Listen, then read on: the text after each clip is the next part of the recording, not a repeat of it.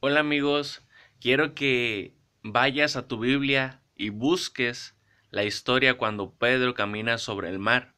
Quiero hablarte un poco acerca de esto. No te voy a dar la cita para que tú te esfuerces un poco y la busques. Se encontraban los discípulos en la barca en medio del mar. Era de noche, yo creo que andaban pescando.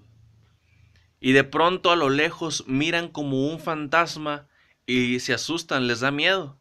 Pero era Jesús y Jesús les grita, no tengan miedo, soy yo.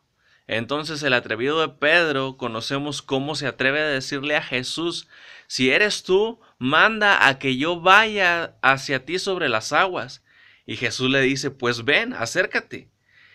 Y Pedro baja de la barca y comienza a caminar sobre las aguas, algo sobrenatural, algo sorprendente en la historia, en las historias de la Biblia. Y Pedro camina eh, sobre el mar y vemos cómo de pronto Pedro comienza a hundirse y cómo le dice, le dice a Jesús, sálvame que perezco.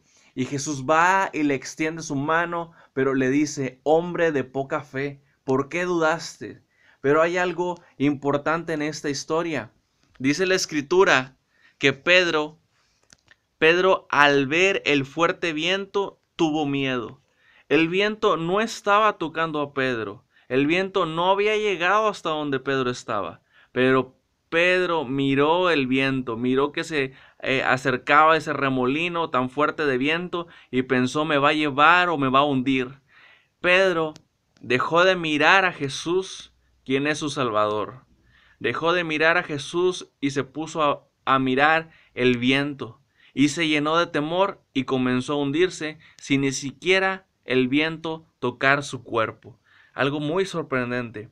Muchas veces vienen a nuestra vida situaciones difíciles porque dejamos de mirar a Jesús, dejamos de poner nuestra confianza en Jesús y comenzamos a ver todas las cosas negativas que están pasando a, nuestro alrededor y, pensamos que la, la maldad o pensamos que las cosas duras y difíciles van a llegar hasta nuestra vida y hasta nuestra familia. Y empezamos a declarar cosas para nosotros, empezamos a declarar cosas negativas para nosotros y, y poco a poco esas cosas van pasando. ¿Por qué? Porque dejamos de mirar a Jesús, aquel que nos dice, yo estoy contigo, no temas ni desmayes, porque yo te voy a sostener. Muchas veces nos pasa, lo mismo que a Pedro. Dejamos de ver a Jesús y nos ponemos a ver las cosas que ni siquiera han tocado nuestra vida. Y pensamos que nos van a destruir. Y así le pasó a Pedro. El temor, la duda, la duda de que, de que era Jesús el que lo estaba llamando, lo comenzó a hundir. Pero hay algo increíble. A pesar de nuestras dudas, a pesar de nuestra incredulidad, el Señor siempre va a extender su mano de misericordia para salvarnos.